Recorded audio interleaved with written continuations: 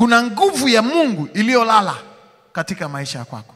Inawezekana pengine usijue vyote, lakini kwa habari ya nguvu ya Mungu duniani ni kwa kila mwamini, ni kwa kila mtu anayeamini, nguvu ya Mungu iliyolala ndani ya mtu.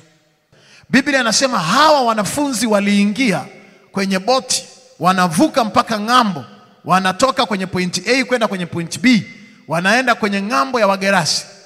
Na Biblia inasema walipokuwa njiani katikati ya maji, Yesu mwenyewe alikuwa amepiga gospel mchana, amechoka, akalala usingizi, akajilaza kwenye sherti, akalala.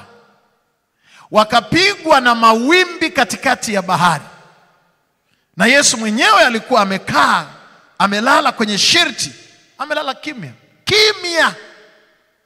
Kwa hiyo kuna wakati ambao Mungu katikati yetu ana nguvu ya kufanya mambo makubwa katika maisha yetu, lakini wakati mwingine tumemwacha Mungu kwenye maisha yetu na nguvu zake.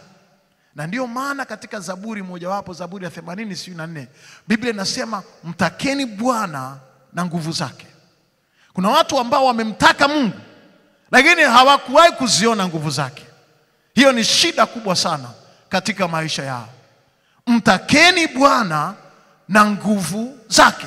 Ngoja nikuambie, kuna nguvu ya Mungu kwenye maisha yako ambayo haijatenda kazi ipasavyo. Ni maombi yangu katika mwaka wa elfu mbili na ishirini na nne hiyo nguvu ya Mungu ifanye kitu ambacho ulimwengu utashuhudia na watu watasema Mungu yupo katika maisha ya huyu mtu. Sijui kama kuna watu wanaonielewa, wangempigia Bwana makofi mengi. Piga tena, Yesu asikie. Haleluya!